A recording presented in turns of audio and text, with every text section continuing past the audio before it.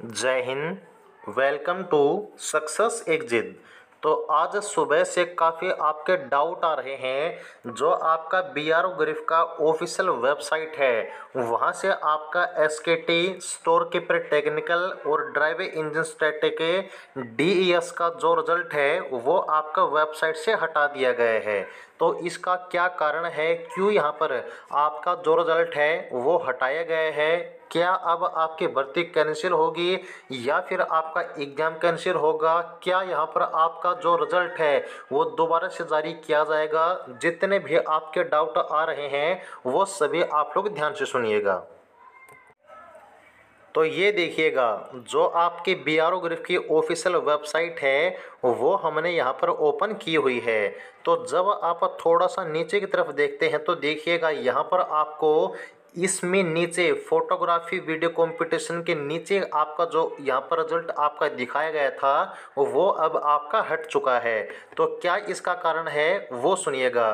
ये बिल्कुल आपका कोई भी वजह नहीं है। भर्ती के कैंसिलेशन से रिज़ल्ट के दोबारा जारी होने से, आपके एग्ज़ाम के दोबारा कंडक्ट होने से इस चीज़ का कोई लेन देन नहीं है। सेकेंड नोटिस देखिएगा, आपको बताया गया है कि यहाँ पर जो आपका एस और डीएस का एग्ज़ाम कैंसिल हुआ था, उसका रीज़न क्या है? Notice for information of the candidates for the post of S and M S W D S under A D B T zero one slash two zero two one ये आपका यहाँ पर देख सकते हैं सेकेंड नोटिस आपका जो है, जारी हो रहा है।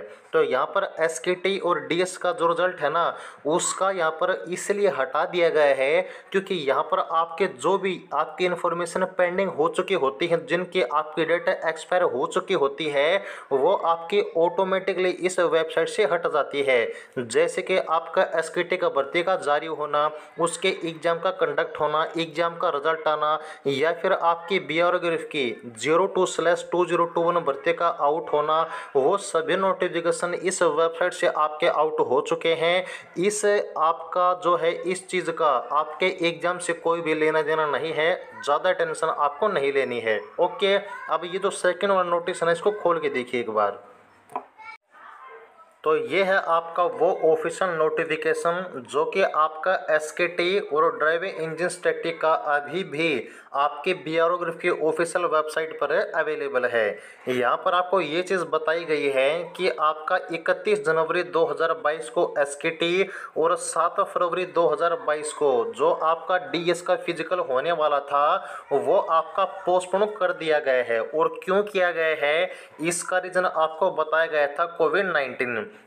तो यहाँ पर देखिए, कुछ दिनों के बाद आपका जो ये वाला नोटिस है ना, ये भी आपको वेबसाइट से हटा दिया जाएगा। क्योंकि जितने भी नोटिफिकेशन आपके पुराने होते चले जाते हैं, वो आपके वेबसाइट से हटा दिए जाते हैं। तो ज़्यादा आपको टेंशन नहीं लेनी है।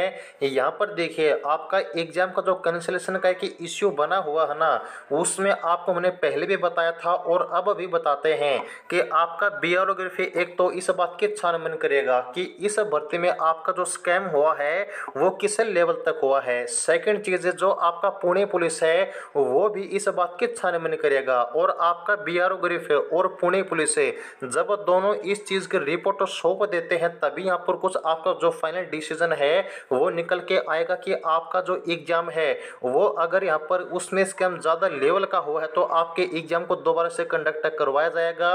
भर्ती कैंसिल नहीं होगी।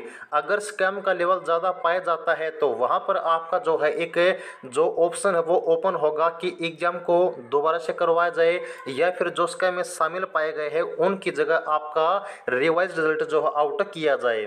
ओके अभी भी यहाँ पर आपका जो है कोई अपडेट नहीं है। जो वेरिफिकेशन है वो यहाँ पर फ़िलहाल में आपकी रनिंग है, चालू है। तो अभी इस बारे में यहाँ पर कोई आपको टेंशन नहीं लेनी है। ओके और जो भी आपकी बातें हर टाइम टू टाइम आपको हम बताते रहते हैं, इसके बारे में हमने पहले भी आपको अपडेट दी थी, जो कि यहाँ पर आप लोग देख भी चुके होंगे। ओके जी तो ये थी आपकी जानकारी। तो आपको उन्हें बता दी है, और अगर कोई आपकी अपडेट होगी तो आपके साथ हम शेयर करते रहेंगे। जुड़े रहिएगा। जय हिंद।